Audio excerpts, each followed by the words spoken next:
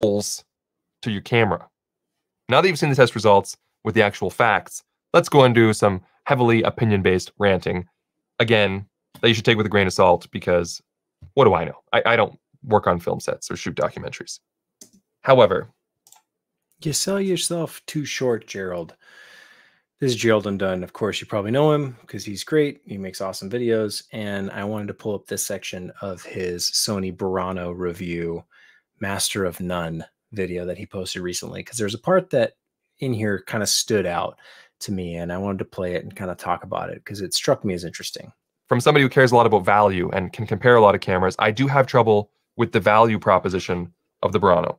Allow me to explain. I've already so this is something interesting that he's about to get into, which is, you know, price to value. A lot of times I've talked about things being too expensive. And in the comments, people like to say, what are you talking about? If it's a professional tool, it's going to make you money. What does it matter how much it costs?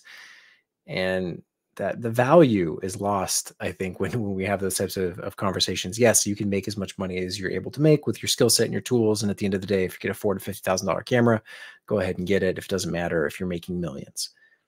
But still, the price of something should reflect the value that it provides. Already established that it's basically an Alpha 1 from a sensor performance perspective. In fact, it's slightly worse. Uh, the rolling shutter is worse, and it doesn't have as many modes as the Alpha 1 when it comes to speeding that up if you want to improve the rolling shutter. So I would I really highly recommend you go watch this video, and that's why I'm not going to play in its entirety. I just want to play this section, but there's a lot of fascinating stuff that Gerald talks about in this Sony Burano review. And dynamic range wise, it's the same once you've sort of fully processed your image. The only advantage this has is that you don't have to fully process your image if you don't want to.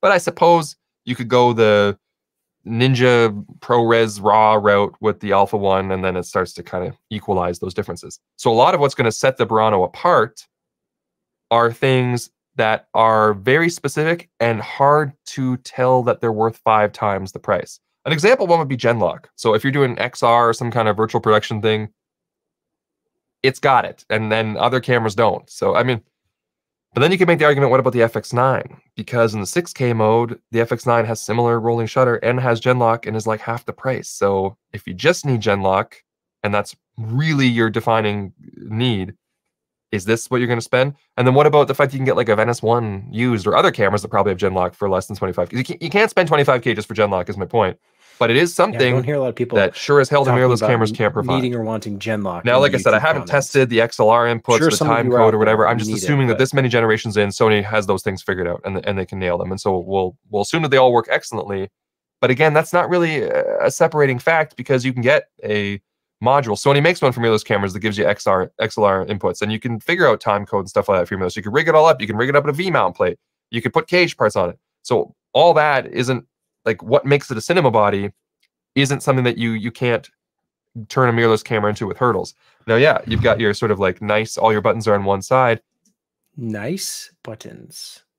I would disagree. This is my biggest gripe with these cinema style cameras is the buttons. Uh, Gerald's going to get into it, but the, the kind of catering to the old school legacy market still sort of has its place. There's plenty of people who want the buttons and all of that, but I don't think it necessarily makes a good camera, especially when we're looking at it from a more modern or if you didn't if you're not familiar with all the buttons and you're not familiar with the cinema cameras i don't think they actually provide a lot of value to you. I'm not looking at a camera going oh i need more buttons. I think that's a very old school thing.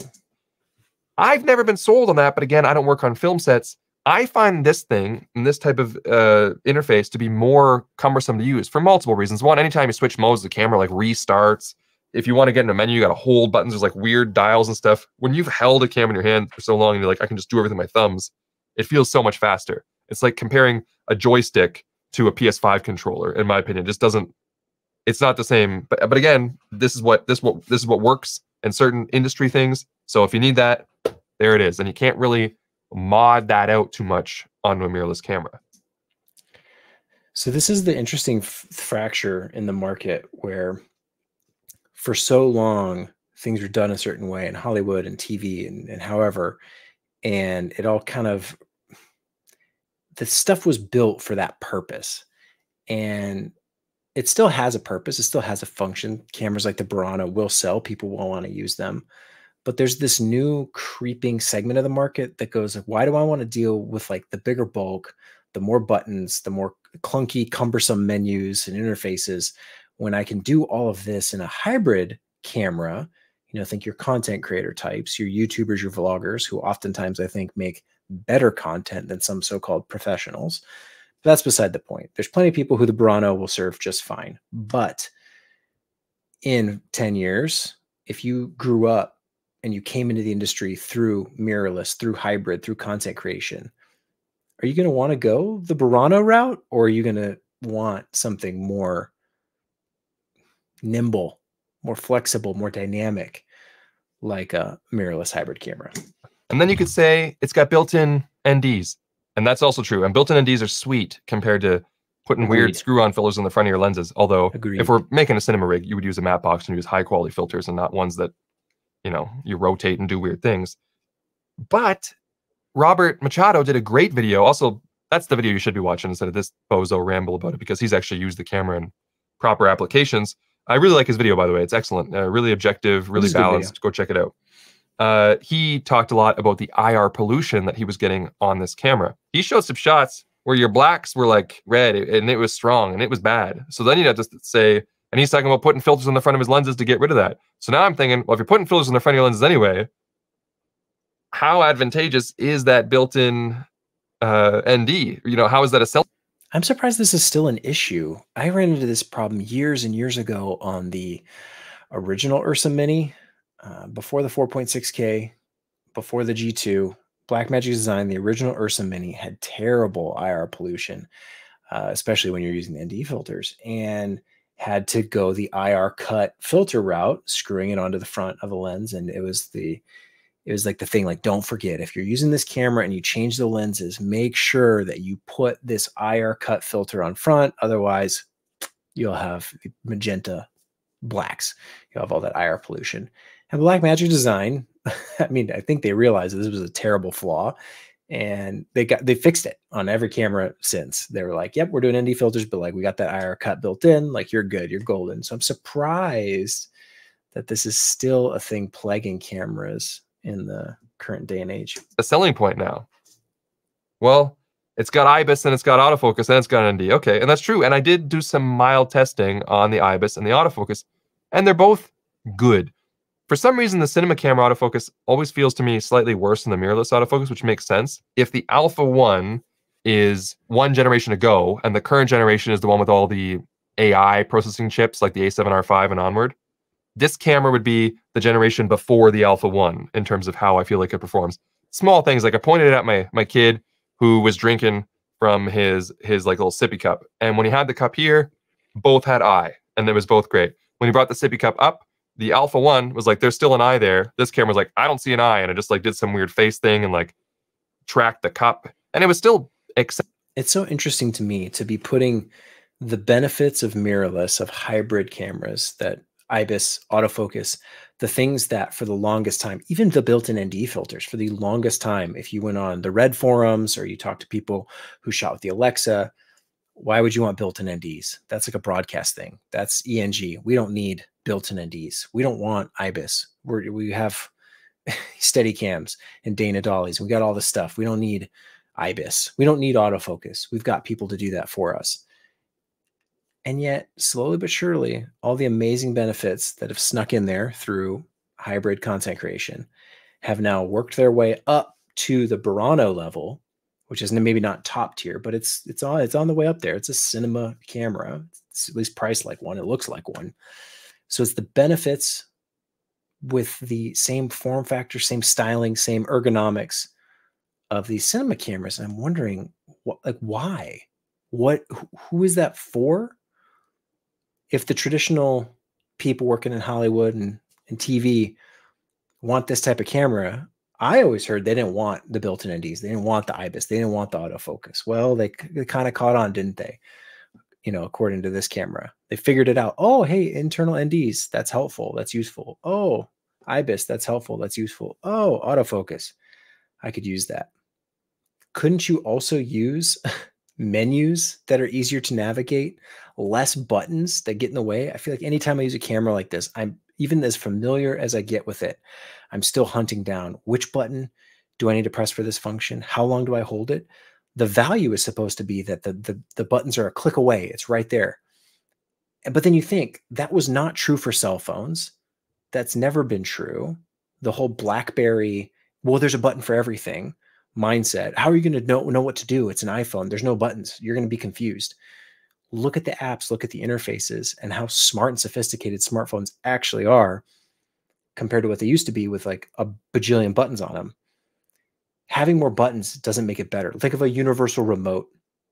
You go to your friend's house, they got the remote with just a million buttons on it. And how do I even turn the TV on? I can't even I can't even do it. You had to have like it's like a speaking a foreign language almost. You like no, oh, we hit this button and then this button, then you do that, and then that's how do I change the input? How do I control the volume? This giant remote control with all these buttons. You know what remote controls look like now? It's like a Roku remote. It's up, down, left, right. It looks like a video game controller because I think you can play video games on some Roku remotes. A couple buttons, up, down, left, right, power on, they even have like the quick buttons you don't even need. That'll take you straight to Disney. I don't know anyone that uses those. Maybe it's good for kids. They just hit the Disney button. Simple, streamlined, fast, efficiency.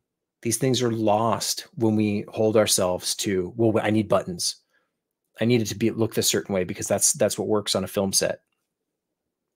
That's what that's what did work in the past, but you could adapt, modify maybe a little bit. Like acceptable, but the Alpha one was better. Certainly usable, and it's certainly very good, but it's not the best. And yet this camera costs so much, right? And then IBIS, same thing. It's there and it's cool, but there's a lot of limitations on when you can use it. Like there's there's multiple modes of the IBIS, right? Just like on a mirrorless camera. But what's cool with the Alpha One is that say you were in that 4K pixel bin mode, well now you can turn everything on. You can turn IBIS on active, you can do whatever because it's just deciding how much of the 8K it's going to read from. Where on this camera, because so many of the modes were about that crazy full frame 6K crop thing they're doing or the 8K modes, you can't really turn everything on until you're like at super 35 and also not in RAW. Because if you're in RAW, you can't, you know, turn on a lot of the weird things like focus breathing compensation, stuff like that. So again, it's cool. It has so many mirrorless camera functions. Like I didn't mention, but you've got distortion compensation uh, for when you're using E-mount lenses, obviously, right? You got distortion, you got peripheral illumination, you got focus breathing compensation, you've got those active stabilization modes. They're all in there, but you're only using them when you're already at a crop and you're not in RAW. So you're shooting super 35, you know, HEVC mode, then you can turn a bunch of stuff on. And at that point, it's like, I, I'm just using a mirrorless camera and you're not using ND filters because they have IR pollution. So people will say, well, you need the bigger box to put more fans, to put more cooling, to put more power, to put more processing, to put more stuff in there. And that's why it costs more. But then all the limitations to use any of the functionality mean, you know, you're recording less resolution, you're recording less of the sensor, you're not recording in the highest codecs. And you wonder, so what am I what am I paying for just to get back down to like to use the features, the so-called features that we say we want, the autofocus, the IBIS, the stuff. Well, those are good features. We want them. But to do that, we have to limit the camera. But I thought I was paying more money to get those features. Like the, the mirrorless cameras are the ones that should be limited in, in theory, right? In the price point in the marketplace. Oh, it's smaller, it costs less, should be more limited. But then the same is true even for the bigger camera that's more expensive. So then you're just wondering, well, why why am I paying more for something that's clunkier to use? So you're putting filters on the front of your lenses. Um, it just it gets really confusing. So then it becomes, well, this thing is a lot more reliable, and I cannot take that away from it. This thing is a tank. It's heavy, but it's built like a tank. It's got a fan inside with control on it, all the things that the Alpha One doesn't have. And I feel like in a hot environment, this camera is going to dump all over the Alpha 1 in terms of performance. I hate that heating, overheating has become a thing ever since the Canon R5. Every camera now is always going to overheat. Is it going to overheat? Oh, it's got fans in it. It won't overheat. How hot can you film? That freaking Canon R5 would just be the bane of my existence. That camera didn't even overheat It was a it was a fake limitation of the camera. It was but now every camera, it's this excuse, this justification. Well, oh, it overheats. This was not a thing until 2021. Wasn't even a consideration because cameras just worked. Oh, these are the specs it can do. Yeah, it can record them. It was never like, well, it can do that, but only for 30 minutes until it overheats. It can only do that for like an hour until it overheats. I'm trying to think of any camera that over that was had heating issues before the Canon R5. And even that one didn't have overheating issues. It was all smoke and mirrors to get you to think, oh, this is this isn't a cinema camera. Don't don't don't use this for cinema. This is a photography camera with some cinema features built in because we know you like them and we want to give them to you, but we also want you to go buy our expensive cinema cameras. And we can't give you too much good stuff in the R5. But there are things you can do with the Alpha 1. I've shown some pretty cool stuff in my videos where if you put a Ninja 5 on it, you can set the camera to 8K, but record externally to the Ninja 5 in 4K, basically recording an oversampled 4K mode automatically to an SSD in ProRes if you want. ProRes 422 10 bit. That's a great codec to work with. Put a dummy battery in this thing, rig it all with a cage, and it's not going to be this reliable, but I've never had that overheat and I can record for a really long time with the camera set to 8K. If you want to record 8K internal RAW, then yeah, you're going to need a big monster with like a fan and stuff like that. But there's media differences too. Like this thing's using, uh, Sony sent over with it their, their new two terabyte CF Express Type B cards, two tough cards. I, think, I don't know what these things cost, but they're probably like thousands of dollars, right? and uh, and I, I, don't get to keep these by the way. They go back, but they're part of the the trial unit here. And so that media is crazy expensive. Where my little ProRes 422 thing, it's the cost of a Ninja and some SSDs, so it's hundreds of dollars. But there isn't one thing I can think of that it does better than any other camera that does that thing on its own. Even if it's like, how fast can you shoot 8K with 12 and a half stops of dynamic range? It's like, well, not quite as fast as the Alpha 1. Well, can you shoot 4K as fast as the A7S III? I cannot unless I do a 2x crop. There's always like a caveat. I am happy, however, that it exists because it's like, look what can exist. So I'll wrap it up here because you should really watch Gerald's whole video. I don't know how I feel about this because it's the same praise that the Apple Vision Pro gets. This isn't the thing that's good, but it will get us to the thing that's good. If the Burano is the stepping stone I, mean, I'll accept it. I'll take it. I'm not going to say no to more technology in the future. I don't think things should be stuck at a standstill. We shouldn't still be filming with the A7S Mark II. We shouldn't still be shooting on the 5D Mark III. We shouldn't still be limited to just the GH3 or the GH4. We do need progress and advancement, but I think those stepping stones along the way should still be good. They should feel secure when you step on it to say that yes, this is the direction I want to head, not tentatively thinking, okay, well, like, I guess I'll deal with it so that I can get to the next thing. Because at that point, you're just buying something that you know has no longevity. It doesn't actually check all the boxes that you want it to, even though on paper the specs might check all the boxes, but all those limitations. Now, that's not to say if you need the Burano for work, if that's what the producer wants, that's what the client wants, that's what the project calls for, by all means, get one if you have that level of consistent work. Rent one if you have a project that comes up. I'm sure it will do the job.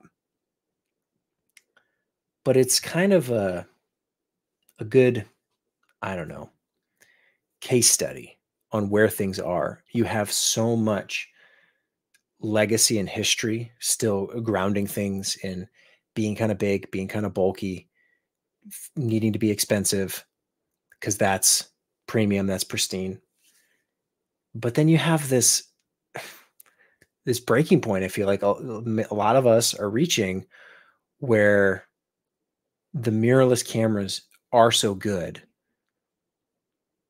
We should embrace that.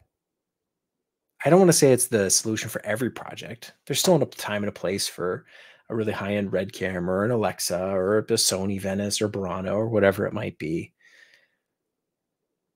But the mirrorless cameras are still looked down upon as if that's like for photographers. Still to this day, even though, gosh, we've been shooting video on them for 15, 20 years almost, whatever it's been since the oh, like 2009, 2008. It's been a long time that hybrid production has been a possibility. People who seize that opportunity to create really cool content, I think, have reaped that reward. There's no need necessarily to have the camera with more buttons and to pay the premium just to have that because somehow that's better. I don't think that's true anymore. I think things should over time, technology should get cheaper. It should get smaller. Again, look at phones. if the phone was still designed with the original cell phone kind of ethos aesthetics in mind, well, I need an antenna for good signal. I need big buttons so I know what I'm doing. How am I supposed to type if I can't, if I don't have buttons?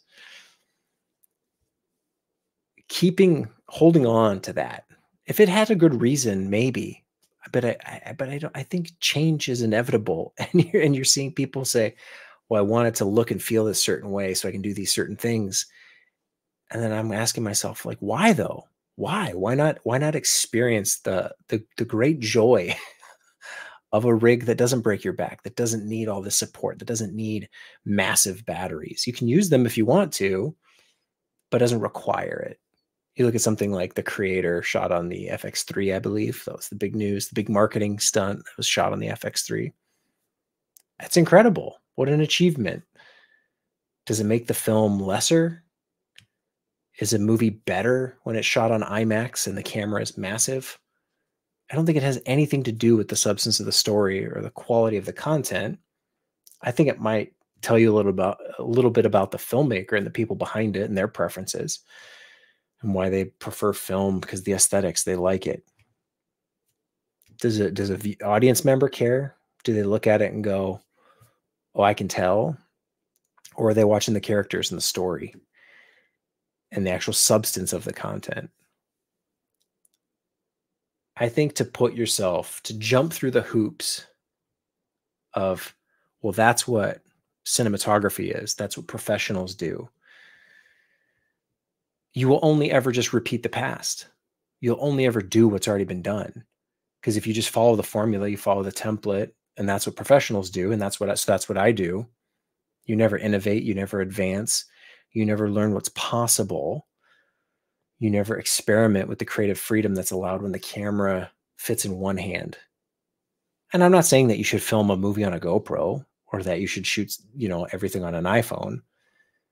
But using the tools when they do make sense in this point where Gerald is talking about the Burano versus the Alpha 1 going, what's the difference?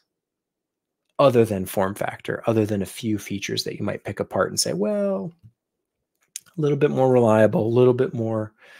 But but if anything, that's you can't even say that that's true for every mirrorless camera because a lot of them are super reliable. So I don't know. I don't know what to take away from it other than it was very interesting to watch Gerald have this have this conversation with himself, exploring these thoughts of of kind of wondering out loud and talking through all the specs.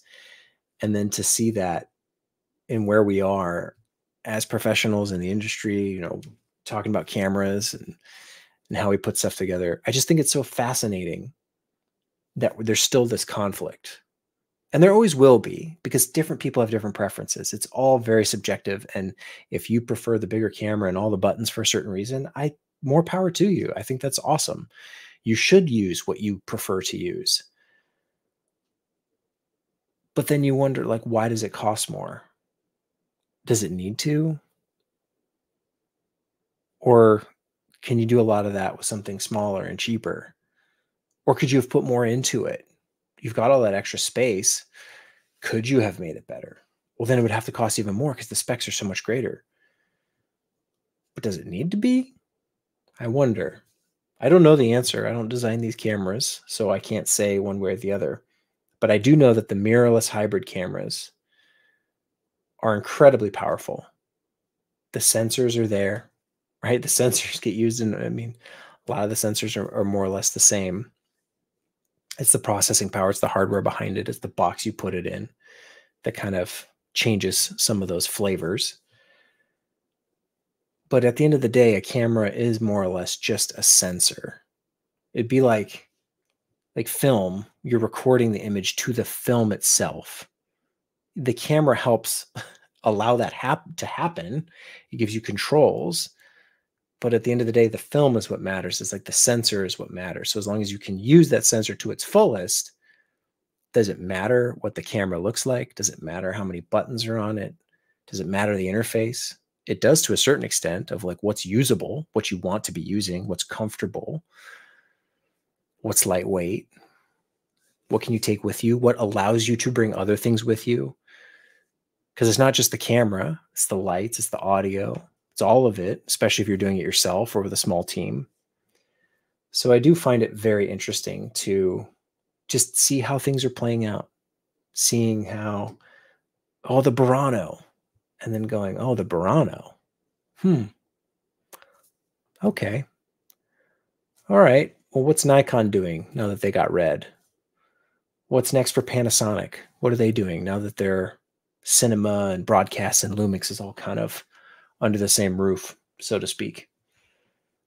how's this all going to shake out? Where where are things headed? If if I'm a YouTuber and I grew up shooting on DSLRs and mirrorless cameras, and I'm not saying I, I'm just saying if my first camera, technically, I think the first thing I ever shot on was a Canon XL1. As far as like professionally, I used like a camcorder, my dad's camcorder, high eight tape. That was actually like at home. But professional camera, I'd say the Canon XL1 and then from there was like the DVX 100, the HVX 200. But then like the GH1, and you wonder, okay, if your first camera for someone, maybe their first camera was the 5D Mark II, or maybe their first camera was the A7S. As they advance, as they create more, as the YouTuber creator economy continues to grow and expand, and people are, I mean, the color grading nowadays on YouTube videos is incredible the lighting, the cinematography on a YouTube video, on someone's vlog. Are you going to want to go buy a Burano or a, a big cinema camera? I'm saying in the future, if you're working on a movie or something, or are you going to use what's familiar and comfortable because of those advantages beyond the IBIS, beyond autofocus? I think internal NDs is a huge selling point, and that's one thing I, I harp on the most is we need these cameras to get built-in electronic ND systems. But from there, there's advantages of the form factor, of the size. And yet that's often dismissed as, well, yeah, but that's for photography. Why? And how often are you shooting something cinematography style and you want to take a photo? looking at this table that Gerald's got in front of him, I know which one I'd rather take the photo with. And I also know which one I'd rather shoot the video with. And it happens to be one and the same camera. I think that says a lot to just where we are, how we do what we do, why we do what we do. And I'd use a, a Burano, you know, I'd use any camera if it does the job that I need it to. Love the Ursa Mini. Ursa Mini is great camera. But even though it's arguably better at certain things, it's not easy to take a photo with. And if I have to bring yet another camera to take a photo, and oh, by the way, that camera happens to be something like a GH6, a G9 Mark II, and maybe even some of the Sony mirrorless hybrid cameras what advantages am I get am I getting from the Ursa Mini? Oh, it's got XLR. Well, these other cameras, I can have an XLR adapter. Oh, the Ursa Mini doesn't have IBIS. It's got built-in NDs, so that's something. But I can't take a photo with it. So if I need to take a thumbnail, I need to get shots for an article or something. Can't. I mean, you could pull a screenshot, but that's not really. Even the Pocket Cinema camera is more in line and I think more popular because of it with that kind of photography form factor. but still a powerful cinema camera.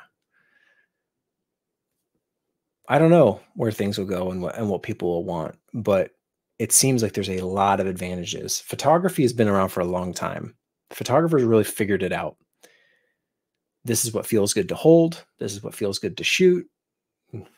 Even the controls, for the most part, they're not standardized, but I wish they were between manufact camera manufacturers because there is kind of that preferred layout, I think, in the way that Xbox perfected the video game controller. There's a lot of cameras out there that just they feel perfect. And it doesn't matter if you're taking photo or video, pictures or moving pictures. It's kind of one and the same. So why not lean into that strength? Why not use that form factor? Use that that legacy, that history of, hey, this is this is what works really well because it feels good and you can do a lot with a little. Not appropriate for, you know, every every environment, but I think back and I go, film cameras, man, they were big, but they were big because they had a lot of film on them. Like that was like the film because it, it, was physical space. And you needed tripods and things to support that. And photo, it's, you know, you got your small little roll because you're just taking one shot at a time. Moving pictures, you need lots and lots of film.